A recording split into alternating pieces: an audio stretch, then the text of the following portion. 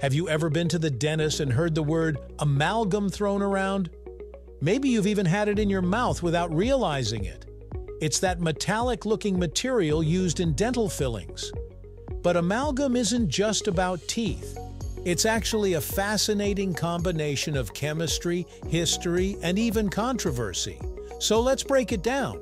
What exactly is amalgam, where did it come from, and how is it made right here on History of Simple Things?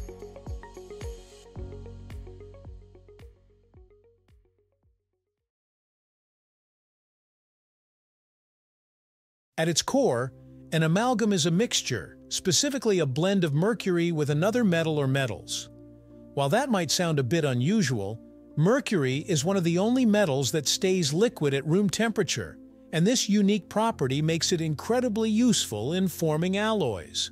When mercury is combined with other metals like silver, tin, copper, or even zinc, the result is a soft, moldable material that eventually hardens. That's perfect for certain applications, especially in dentistry.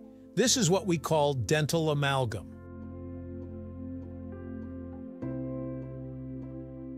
So why did amalgam become so popular for dental fillings?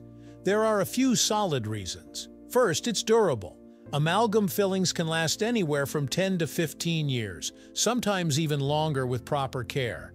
They're strong enough to withstand the forces of chewing, which is no small feat considering how much pressure our jaws can apply. Second, it's affordable. Compared to alternatives like composite resins or porcelain fillings, amalgam is relatively cheap to produce and use. This made it especially popular in public health settings or for patients without access to more expensive dental care. And third, it's easy to work with. Dentists can place amalgam quickly, and it sets up reliably in most environments, even if the area isn't completely dry, which is often the case inside a mouth. Now that we know what it is and why it's used, let's talk about how amalgam is made. The process begins with the base metals, usually a powdered alloy of silver, tin, copper, and sometimes zinc. These metals are chosen for their individual properties. Silver gives strength, tin makes the mix easier to manipulate, and copper improves hardness and reduces corrosion. Zinc, when included, helps reduce oxidation during the process. These powdered metals are mixed with liquid mercury. Yes, actual mercury. Now I know what you're thinking, isn't mercury toxic? We'll get to that in a moment. But first, let's understand the chemistry.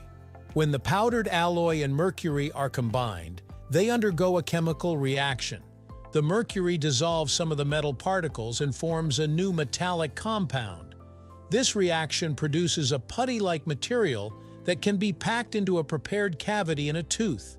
As it sets, the amalgam hardens and becomes extremely durable, able to hold up to the daily grind of chewing, brushing, and even grinding teeth at night.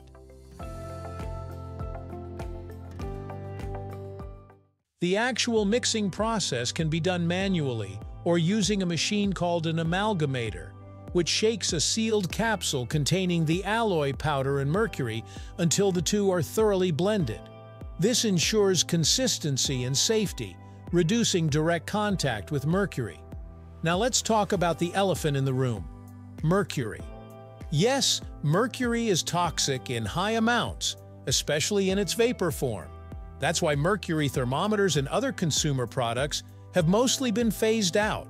So why is it still being used in dental fillings? Here's the key.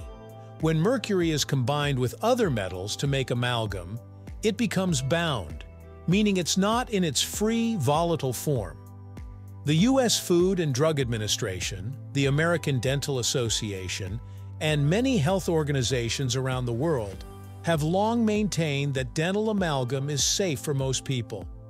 Studies show that the amount of mercury vapor released from fillings is extremely low, well below harmful levels for the vast majority of the population.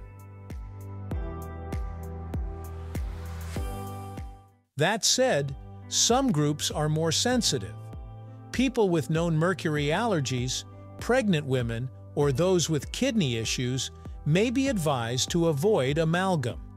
And in recent years, there's been a push towards using more mercury-free alternatives, especially as dental technology continues to evolve. But despite the concerns, amalgam remains widely used in many parts of the world, especially in public healthcare systems. Its longevity, affordability, and effectiveness keep it in rotation, even as composite resins and other newer materials gain popularity. As dental technology advances, there's a growing interest in finding alternatives that can match or surpass amalgam in terms of durability, cost-effectiveness, and ease of use. Composite resins, ceramics, and even glass ionomer cements are becoming more common as fillings, offering better aesthetic outcomes, especially for visible teeth.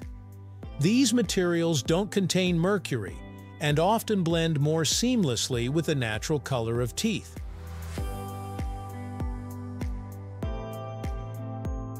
Today, mercury amalgams still find some use in specialized fields, like gold refining and certain types of scientific equipment. But these uses are much more controlled and regulated than they used to be.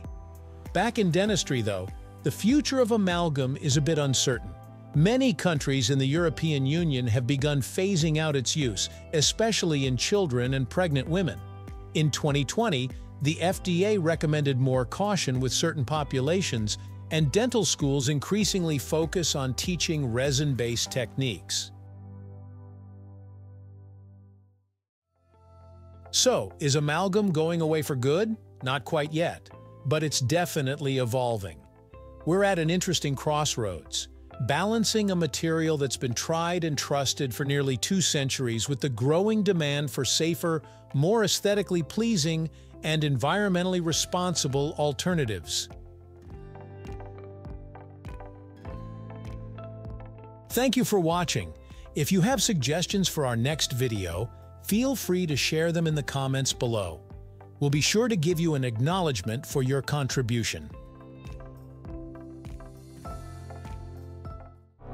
Thank you for joining us on this journey through the history of simple things. Don't forget to like, subscribe, and stay tuned for more stories woven through the smallest details.